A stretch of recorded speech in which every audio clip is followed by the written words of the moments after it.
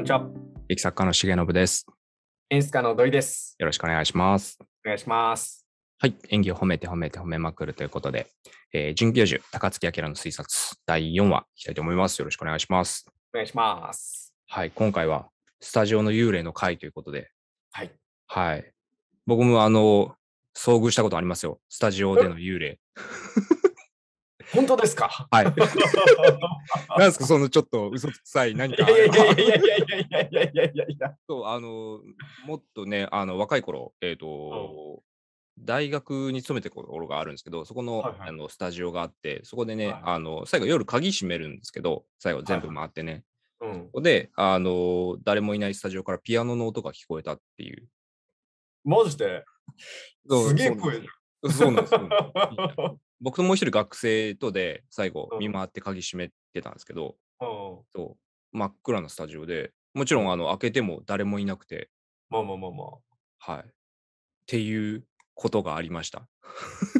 最悪の気分になるな。めちゃくちゃ怖かったんですよ。で、自分だけ聞こえたらそんな空耳じゃないですか。でもう一人もバッチリ聞いてて、あ、本当に。そのスタジオにはいるんだねって言って。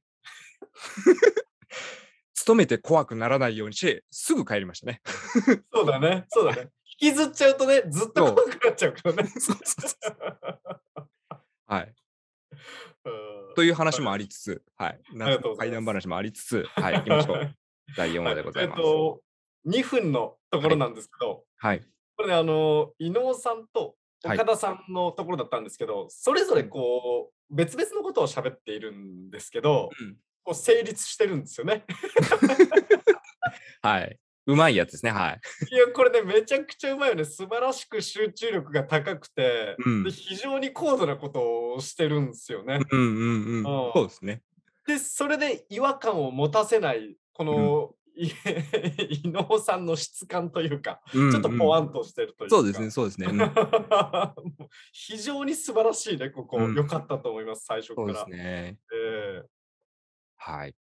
はい。で、えー6分。はい。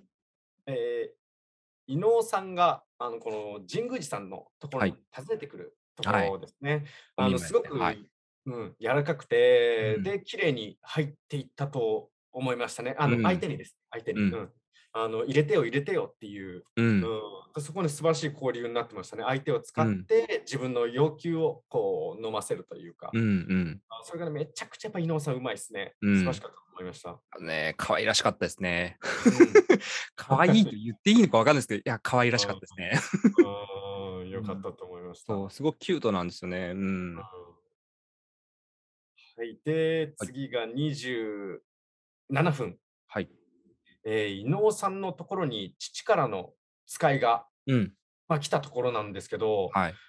まあ、ここもまあ、あの、真摯にすごくね、綺麗な体の、あのーまあ、反応と、まあ、でもちょっとこう、なんだろうな、こう、ピリッ拒と否するというか、うんうんうん。でも、あのー良かったんですね。交流自体も綺麗だし、で、うん何よりも、なんかね、こう、意外と伊能さん、こう、肝が座ってるところが素晴らしいなと思いましたね。うんうんうん。なんていうんですかね、その、ほわっとしてても、うん引かないっていうか、もう体が引いてないんですよね。なんかこう、うんうんピリッとさせるところが非常にあって、ちょっとね、うんあのーそうですね、肝が座ってる素晴らしかったと思います。うん。そう、ここちょっと、あのー違うシーンというか、なんていうんですかね、毛色が違うところですよね。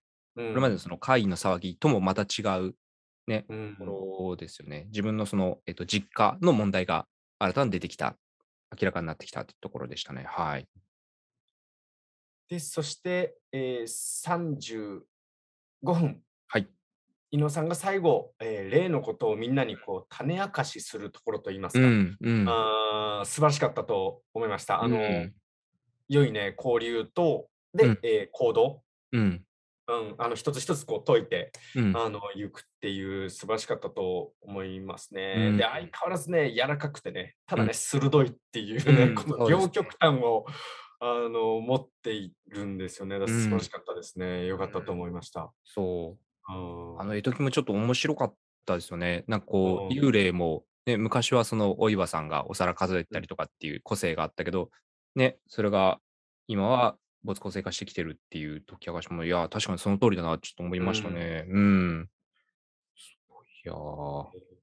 でも、あの、この伊能さんっていうのはもう、あれだね、なんかこう、見た目のほわほわ感と、なんかうん。可愛らしさとは、なんか別のこう強い芯と、なんかこううん。鋭いものを持ってるうね、すごい。んうん。そうですね。なんうかギャッん。プがすごいね、素晴らうしいね。ん。うーん、いいとこと思いました。うん。ね、うん。素晴らしいお芝居でしたね。はい。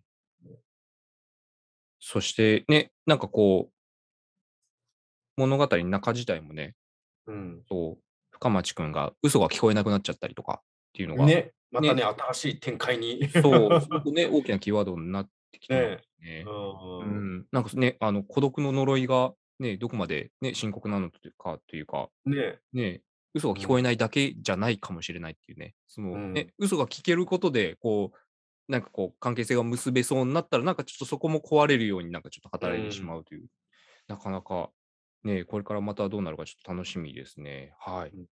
はい。というわけで、えー准教授、高槻明の推察、えー第4話でございました。ありがとうございました。ありがとうございます。はい。えーこの動画が少しでもいいなと思った方は、チャンネル登録、グッドボタン、コメントなどなどしていただければと思います。どうぞよろしくお願いいたします。お願いします。